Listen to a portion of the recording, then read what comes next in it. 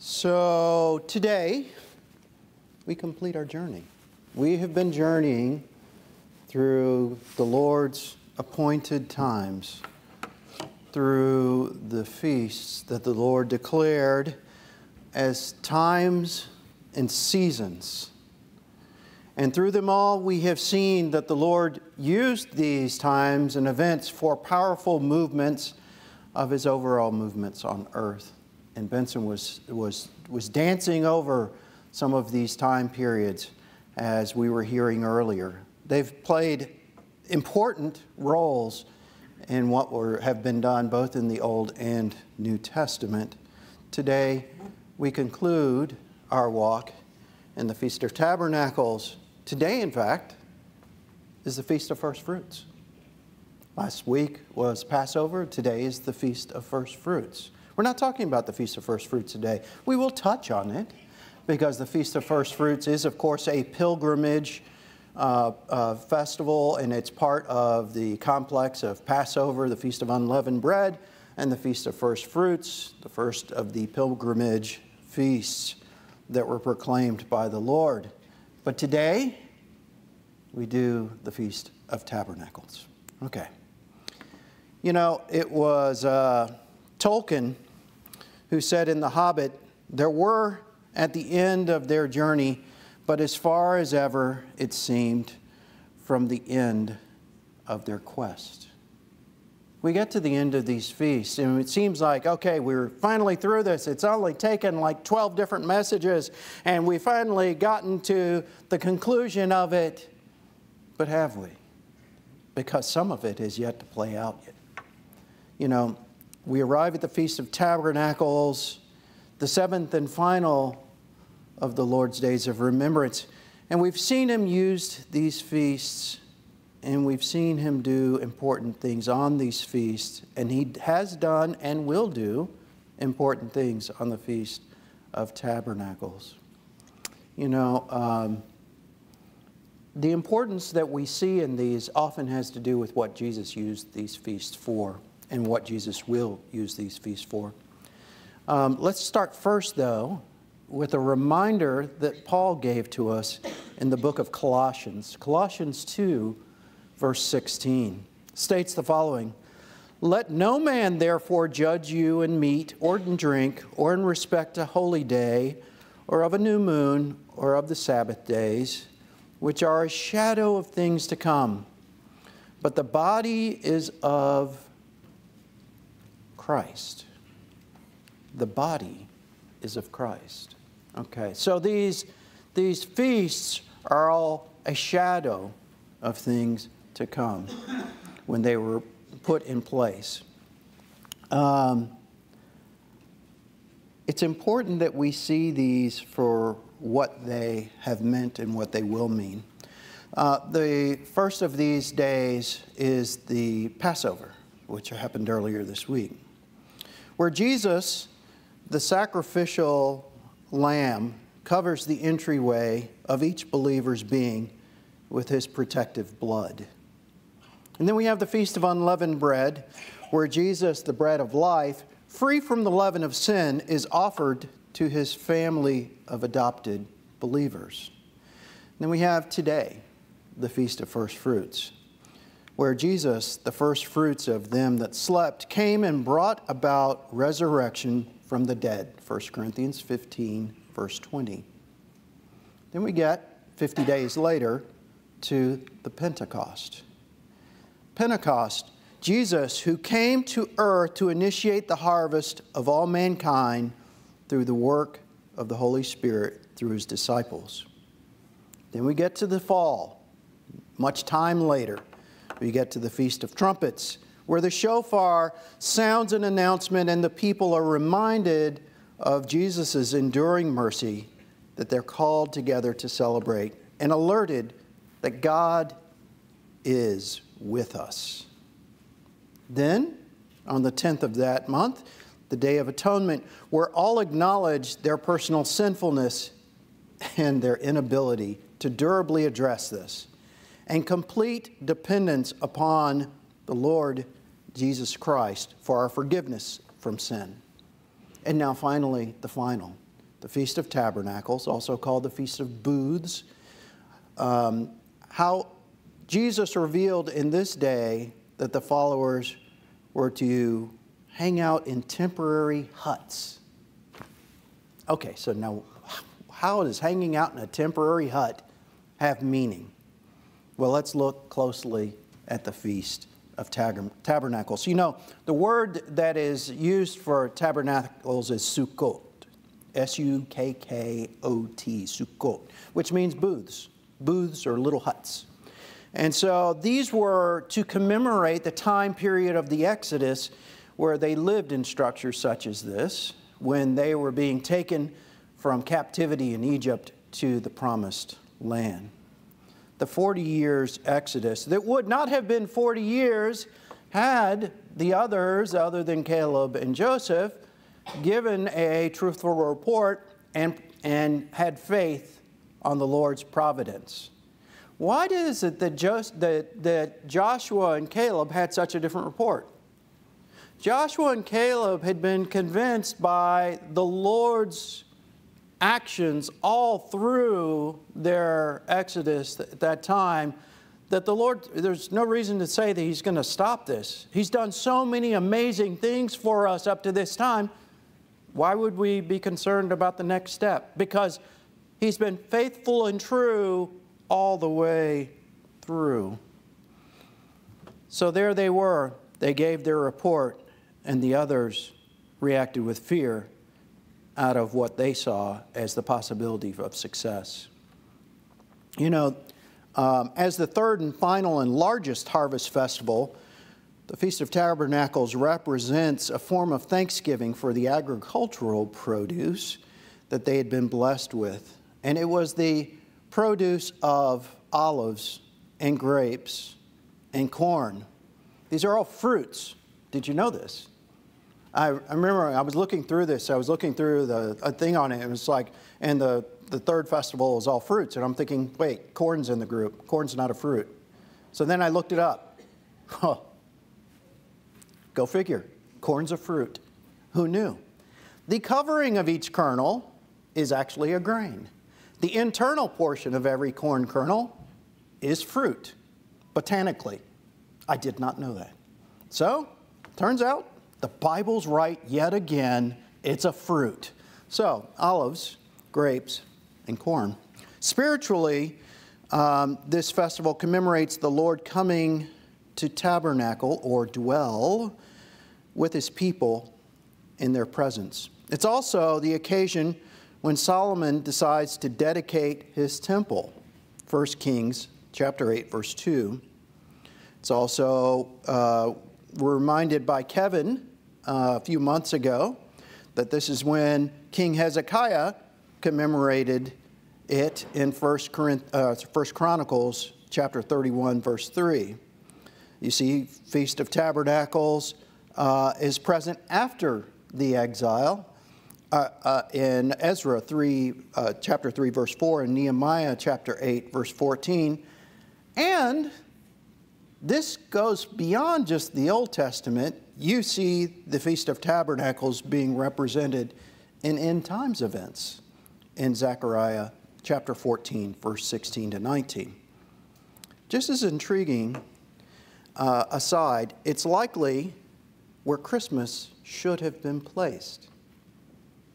Think about that.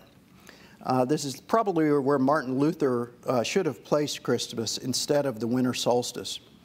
And uh, if you look at Luke 1 5, 1 Chronicles 24 10, Luke 2 8, Genesis uh, 33 17, you'll see a lot of different references to tell you why that indication might be. Um, Jacob journeyed, if you look at Genesis 33 17, listen to this. It says, And Jacob journeyed to Succoth and built him a house and made booths for his cattle. Therefore, the name of the place is called Sukkoth. Um, so Sukkot means booth. It's the same as Sukkoth, okay? And we see that um, a reference being made to that. If you look in John 1, verse 14, it says, And the Word was made flesh, and what do you do? dwelt. The word skinu, what's that word correlate with? Tabernacled. Okay? Exactly. A tabernacle. Skinu is a tent or tabernacle.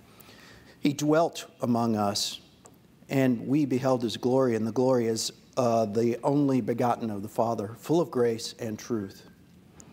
Thus, this, like uh, many other feasts, is a remarkable and important event. Now, this huge graph that I have up there that you probably can't read, it shows that if you follow through uh, on, the on the events, if you look up here where that's, that yellow line is, that's where we know that Zacharias' uh, uh, rotation occurred at the time of the birth of Christ.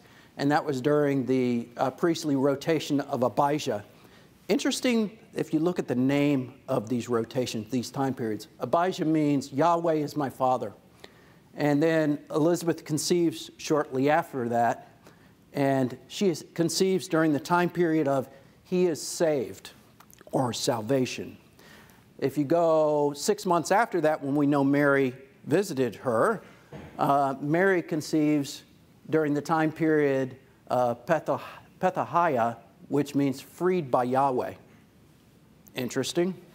Um, then we know, based on when Elizabeth was conceiving, she would have given birth during Iyar, the month of Iyar, and probably at a time of either dedicated or barley. Now that's really interesting that it's barley. That's an aside.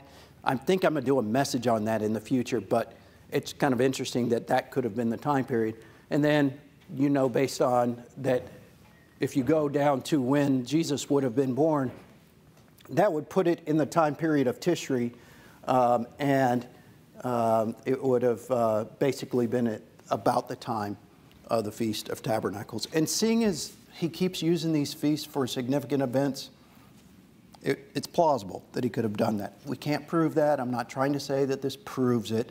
I'm just saying that the timing, we do know that, we do know hard, uh, hard and fast that Zechariah was during the time of Abijah. That, because the scripture says that. So we know that is a start time is hard. So if you go months down the line, the time period's about right. It's not during the winter solstice that he would have been birthed. It's about the time of the Feast of Tabernacles. Okay. That's just a rabbit trail. I'm going to get off of that now. All right, so if we uh, let's look to the scripture that describes the Feast of Tabernacles. We, if we go to uh, Leviticus 23, verse 33, it states the following And the Lord spoke to Moses, saying, Speak unto the children of Israel, saying, The fifteenth day of the seventh month shall be the Feast of Tabernacles, for seven days unto the Lord. On the first day shall be a holy convocation you shall do no servile work therein. Seven days you shall offer, made by fire, you shall offer an offering made by fire unto the Lord. On the eighth day shall be a holy convocation unto you, and you shall offer an offering made by fire unto the Lord. It is a solemn assembly. You shall do no servile work therein.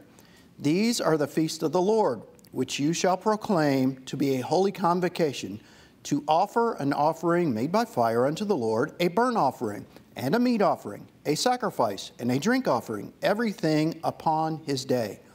Beside the Sabbaths of the Lord, and beside your gifts, and beside all your vows, and beside all your free will offerings, which you shall give unto the Lord.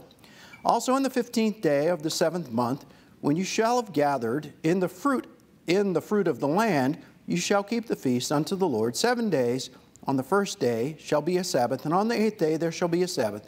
And you shall take you on the first day the boughs of the goodly trees, the branches of the palm trees, and the boughs of the thick trees, and the willows of the brook, and you shall rejoice before the Lord your God seven days.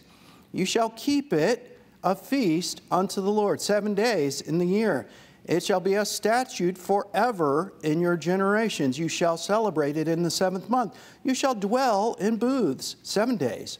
All that are Israelites born shall dwell in booths, that your generations may know that I made the children of Israel to dwell in booths when I brought them out of the land of Egypt. I am the Lord, your God. And Moses declared unto the children of Israel the feasts of the Lord. Another quick uh, portion of scripture that also deals with the Feast of Tabernacles Deuteronomy 16 13. Thou shalt observe the Feast of Tabernacles seven days that thou hast gathered in thy corn and thy wine. And thou shalt rejoice in thy feast, thou and thy son and thy daughter, and thy manservant and their maidservant, and the Levite and the stranger and the fatherless and the widow uh, that are in thy gates. Seven days shalt you keep a holy, a solemn feast unto the Lord thy God in the place which the Lord shall choose, because the Lord thy God shall bless thee in all thine increase and in all the works of thine hands. Therefore you shalt surely rejoice. Three times in the year shalt all the males appear before the Lord thy God in the place which he shall choose, in the feast of unleavened bread, and in the feast of weeks, and in the feast of tabernacles and they shall not appear before the Lord empty. Every man shall give as he is able, and according to the blessing of the Lord thy God, which he hath given thee. And then I'm going to skip to Deuteronomy 31 just to close this out. And Moses commanded them, saying, At the end of seven years, and in the solemnity of the year of release, in the, in the Feast of Tabernacles, when all Israel is to come and appear before the Lord thy God in the place which he shall choose, thou shalt read this law before all Israel in their hearing. Gather the people together, men and women and children, and thy stranger that is within thy gates, that they may hear, that they may learn and fear, that they may hear and that they may learn and fear the Lord thy God, and observe to do all the words of this law and that their children, which have, known, which have not known anything, may hear and learn to fear the Lord thy God, your God, as long as you live in the land whither you go over the Jordan to possess it. You know, Benson led, led, the, led you verbally up to that crossing. What day did Israel cross over into Jordan? The Feast of Tabernacles. It says so in Scripture. Okay, so now let's, let me just summarize quickly what we see here in the Feast of Tabernacles in, in those various verses. First, everyone was to dwell in temporary booths during the feast, okay? All of Israel. But we also see it's not just Israel that's participating in this. We see this in the Deuteronomy 16 verses that it was the stranger and the, the fatherless and the and the orphans and everyone, everyone who was dwelling was to participate in this. Okay, the first and eighth days were holy days of convocation. Okay, um, there were daily sacrifices which were to be uh, given. There were a variable number of bullocks, uh, two rams, 14 lambs, grain offering, a sin offering, uh, and uh, offering of one goat. On the eighth day, it was uh, one bullock, one ram, seven lambs, a grain offering, a sin, sin offering. So in the whole week, 70 bullocks would have been offered. But what do we know from Hebrews? Do those 70 bullocks clean them and cleanse them of all sin? No. No, because not by the blood of bulls and goats do we get redemption, only but by the blood of Jesus Christ. Um, they had a ceremony, an outpouring of water that occurred. And it, this, this outpouring of water came from the pool of Siloam. And you you may uh, wonder, you know, how do, you, how do we know this? Well, this is described in the Mishnah. And so the, the, the actual, the, the how the rite was done. But it's important to know this because Jesus uses this in Scripture, and I'm going to explain this in just a second. Anyhow, as part of the ceremony, they had an outpouring of water. So on each day, they had a golden flagon that would sit upon the altar, and the flagon had no water within it. So, in order to do the outpouring of water, they would do a parade. And remember how it said that they were to take the boughs of the goodly trees and the willows and the palms and all that? And they would take these boughs and they would hold them.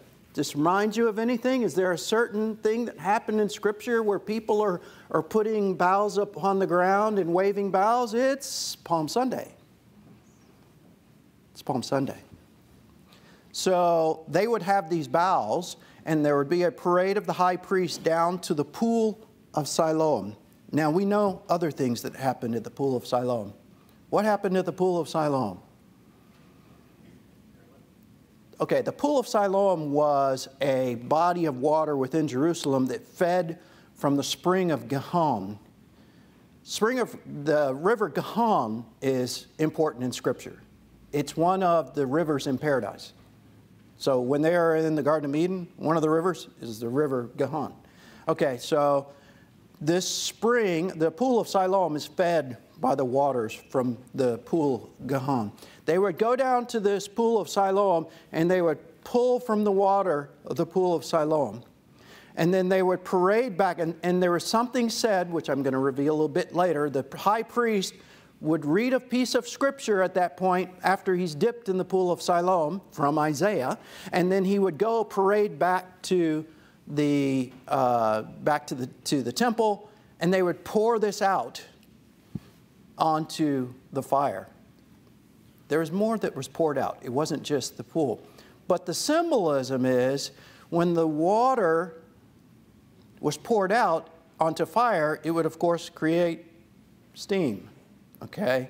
And so you'd have a column of steam that would rise up. We'll get back to uh, what was being celebrated there. But the reason that they did all this is they were commemorating that the water that was provided to the nation of Israel uh, during their exodus that came from the rock of Meribah. Okay? In addition to this outpouring of water, there was the lighting of the grand candelabra that occurred in the temple inner court and the torch parade uh, commemorating the guidance of the pillar cloud that happened during the Exodus cloud by day, and what was the what was it by night? Fire. Fire. Fire by night, cloud by day. And you see that in Numbers 14, 14, that, that that was done. And then in the seventh year, as I stated in that last part of Deuteronomy, the entire law was read. And we see this during the post exilic time in those two verses that I referred back. They, they came back in from the exile, they read the law, and what did they do? they ripped their clothes because they realized we haven't been doing any of this. And this is what we are supposed to be to have done. All right. So uh, I'm about to read a paragraph. I'm taking this from a D, uh, Dallas Theological Seminary professor. And I was going to put it in my own words, and I thought, you know, he actually worded it really well. So I'm just going to read his little segment because it's worded quite well. It's Professor Hall Harris III, um, who is a uh, Old Testament professor at DTS. Um, he says the following The principal features of this observance, in addition to the erection of the leafy bowers in which the people camped out and the offering of the sacrifices, appear to have been the following. The people carried with them bunches of leaves called lulabs. There was apparently a disagreement between the Sadducees and the Pharisees over the correct interpretation of Leviticus 23:40 and ye shall take you on the first day the fruit of the goodly trees, branches of palm trees, and boughs of thick trees, and the willows of the brook. The former, Sadducees, took the words to refer to the material out of which the, out of which the booths for the observance of the feast were to be constructed, while the latter, the Pharisees, held the, them to mean that the worshippers were actually to carry bunches of the trees named as they entered the temple. The Pharisaic interpretation prevailed among the people, and accordingly, each worshiper, as he marched in procession, would carry a lulab in his right hand and a citron in his left. Everybody know what a citron is? I had no clue. A citron is this fruit that looks like a lemon. Supposedly it's good. I don't know people who went to Israel, did you have any citrons? No, I see, don't see anybody. So who knows what a citron tastes like? Anyhow, they would have a citron in their left hand. The lulabs symbolize the stages of the wilderness journey marked uh, by different kinds of vegetation and the fruit of the goodly land that the God had given his people. As certain psalms were recited and, and worshippers shook their lulabs, the rejoicing was marked further by flute playing and dancing that went on for most of the feast, and by bringing in young willow branches and arranging them around the altar. And you see this in the Mishnah Sukkah 4, verse 5. Uh, the tops were the, the tops thus bent over the altar, forming a leafy canopy for it. The reciting of the words, Save now, we beseech thee, O Jehovah. O Jehovah, we beseech thee, send now prosperity. This is the psalm he was referring to, Psalm 118, verse 25, is probably to be understood as a prayer for rain and fruitful season. And, and each of the seven days of the feast, a priest drew water from the pool of Siloam in a golden flagon and brought it in procession to the temple with the joyful sounding of the shofar.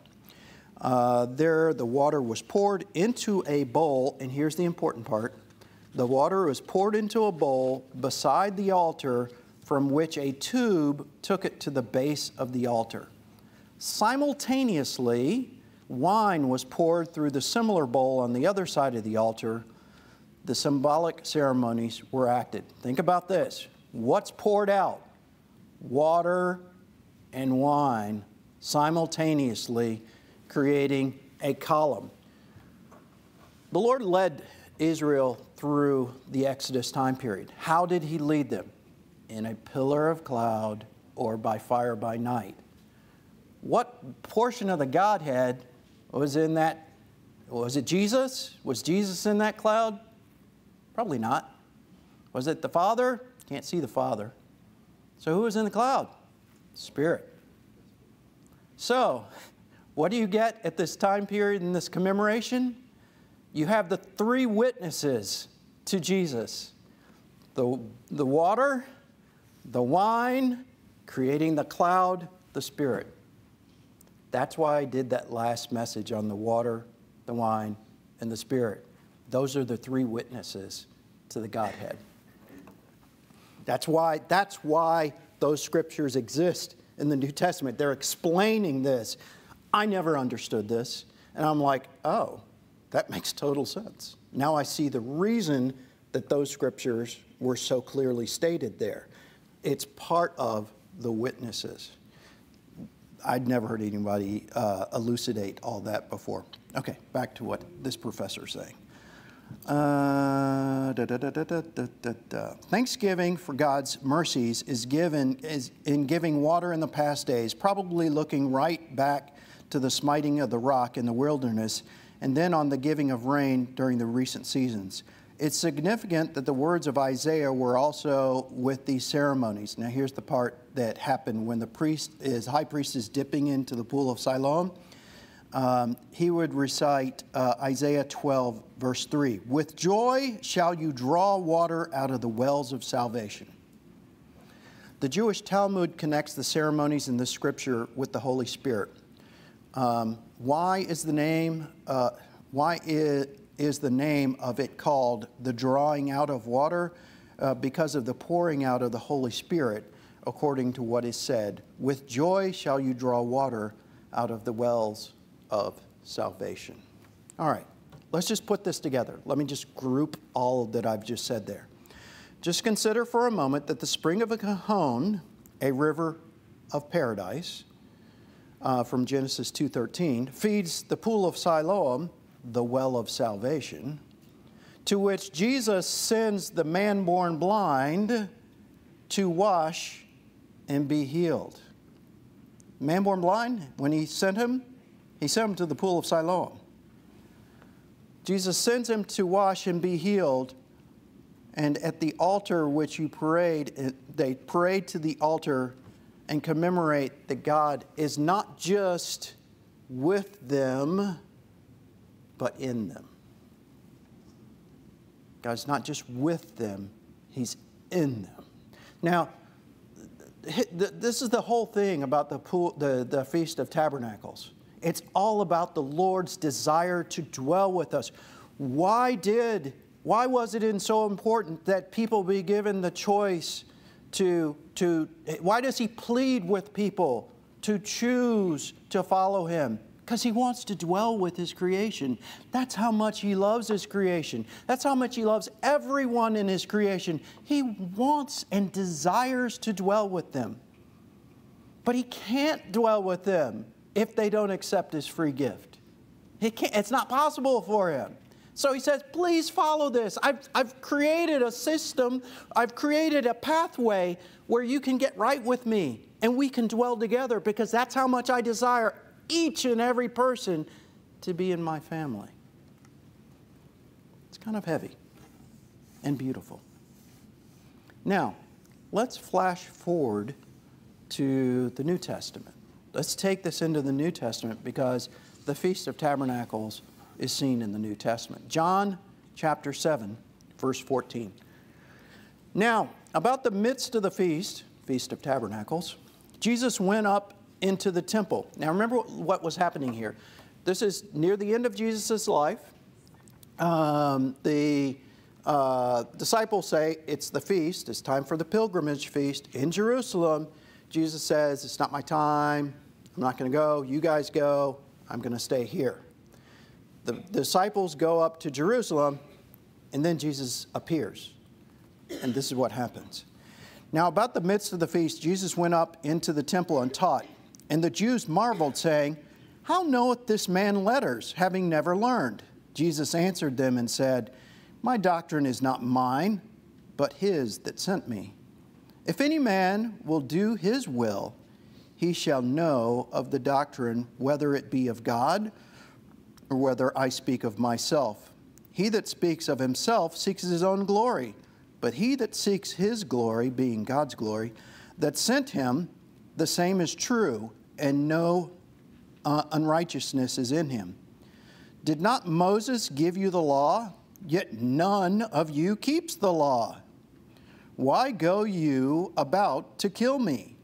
The people answered and said, Thou hast a devil. Who goes about to kill you? Jesus answered and said to them, I've done one work, and you all marvel. Verse 25. Then, some, then said some of them uh, of Jerusalem, Is not this he whom they seek to kill? But lo, he speaks boldly, and they say nothing unto him. Do the leaders know indeed that he is the very Christ? Howbeit that we know this man whence he is, but when Christ comes, no man knows whence he is. Then cried Jesus in the temple as he taught, saying, You both know me, and you know whence I am, and I am not come of myself. But he that sent me is true, whom you know not. But I know him, and for I am from him, and he hath sent me. Then they sought to take him, but no man laid hands on him because his hour was not yet come. And many of the people believed on him and said, When Christ comes, will he do more miracles than these which this man has done? Going down to verse 37. In the last day, the last day of the Feast of Tabernacles, in the last day, that great day of the feast, Jesus stood and cried, saying, If any man thirst, let him come unto me and drink.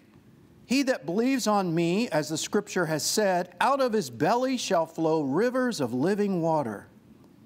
But he spoke of, but this spoke he of the Spirit, which they uh, that believe on him should receive, for the Holy Spirit was not yet given. Because of that, Jesus was not, because that Jesus was not yet glorified prophet, Christ, for Galilee or Bethlehem? What was he? The leaders wonder why Jesus wasn't seized. Jesus then goes to the Mount of Olives. Think about this. Jesus, remember, you remember what is happening in this ceremony. That, that uh, just, I want you to get the visual picture of this daily celebration down to the pool of Siloam, where they sit there and they talk about, We will draw from the well of salvation for the Lord. and then they go back and they pour the wine, the fruit of the vine, the work of human hands, onto the fire, and the water from the well of salvation onto the water, and they see the column of smoke, the witness of God's presence with them. Can you imagine Jesus standing up and saying, If any man wants the real well of salvation, it is from me that comes that well of salvation. Doesn't that bring amazing meaning to these scriptures? When you realize what was going on at the feast at the time at which he was making this statement, he was reflecting back to the very giving of the feast to Moses and then to the people of Israel. It's a great irony that the Son of God was rejected when he came to dwell with man, even on their Feast of Tabernacles. Is that, is that not irony? The, very, the, the, the name of the very thing, the, the, very, the very feast that commemorates God dwelling with us, and that's when they're rejecting him. They were engaged in religious activity, but they don't know the Father or honor his words.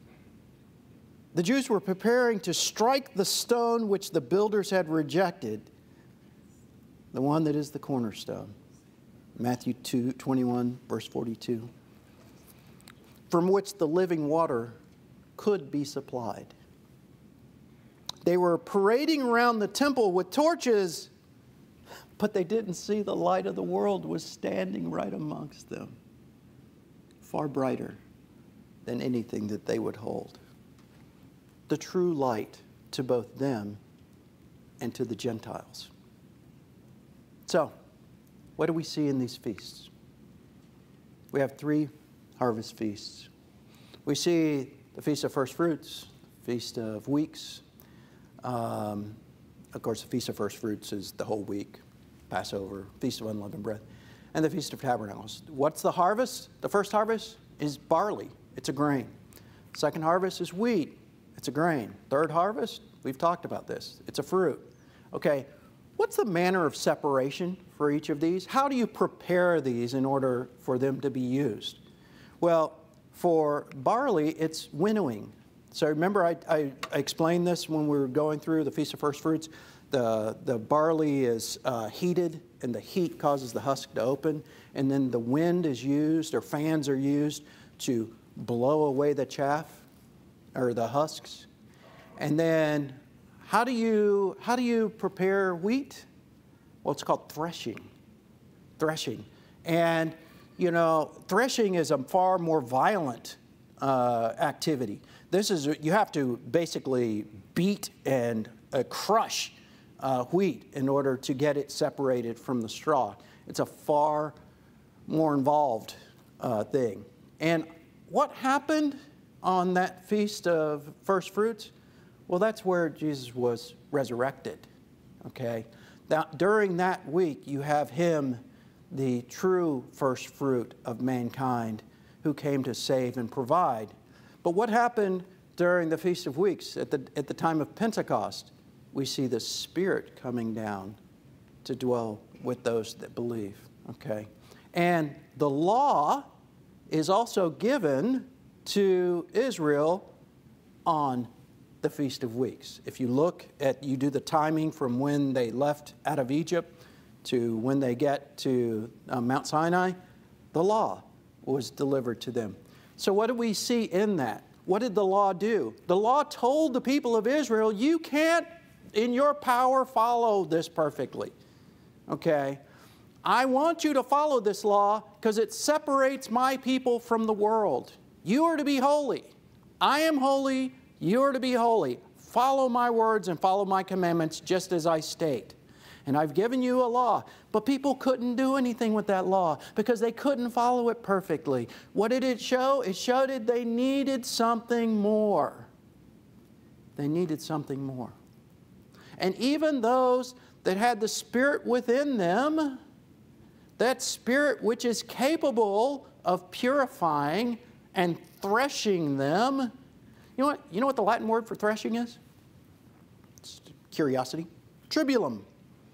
It's tribulum, from which we get the word tribulation. threshing, the threshing of mankind. Okay? But you needed more. Because you can't dwell with the Father in an unholy state. How do you prepare any of these th- fruits? It is the wine press. Olives are pressed. If you're getting corn oil, it is pressed. Okay, it is from the, and the verses right after Benson was, was walked right up to those verses where it talks about, the, Jesus talks about the, the, wine, the wine press is about to occur. You will be pressed. Because in that pressing and in that crushing, that's where the wine is produced. This was also the time that they came across the Jordan. I've spoke of that. Okay. Um, if you look at uh, Matthew, thir- Matthew 3, verse 11, it says the following I indeed baptize you with water unto repentance, but he that cometh after me is mightier than I, whose shoes I am not worthy to bear. This is John the Baptist talking. He shall baptize you with the Holy Ghost and with fire whose fan is in his hand, and he will thoroughly purge his floor and gather his wheat into the garner, and he will burn up the chaff which, with an unquenchable fire. He has the fan, you'll be winnowed.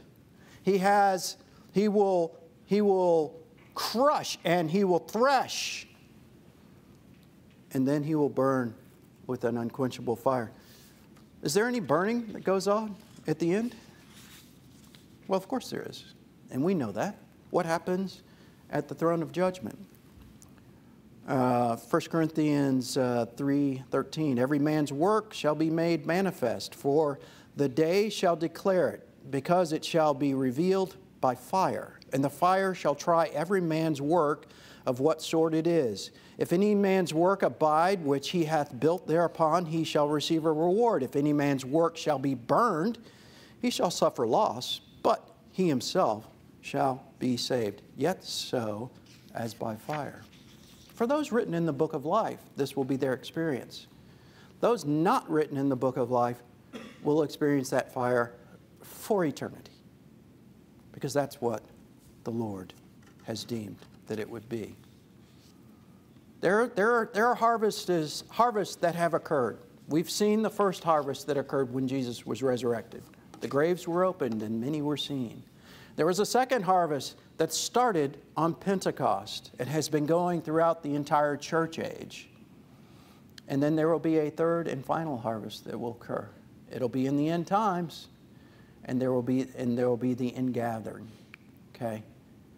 It is a pattern that goes through justification that comes by the blood of Christ through his sacrificial work. There's the sanctification that comes through the work of the Holy Spirit given at Pentecost within the life of believers. And then finally, at the end times, when we are gathered together, when John says in Revelation that I looked at the temple, and what did he see? There was no temple, for the Lord, the Father, and Jesus Christ were the temple, the tabernacle, at which time we'll all be glorified. Let us pray. Heavenly Father, Lord God, as we look into your scriptures, it's fabulously complicated. It's also beautifully simple. It's deep. It causes us to uh, revel exactly how beautifully you set everything up and how you use all these minor details which we sometimes skim over when we're reading your words, missing all the symbolism that you poured therein. Lord God, you are beautiful in every facet we look at. Your ways are true, they're right, and you are faithful to us, providing at every juncture. Lord God, that we would see and trust you, that we would not doubt that your provision will come in the time of trial. Lord God, that we would be that beacon on the hill. We would be that bright light reflecting your glory. and that our every action may lead to the glorification of your name. These things we pray for in your blessed name. Amen. Amen.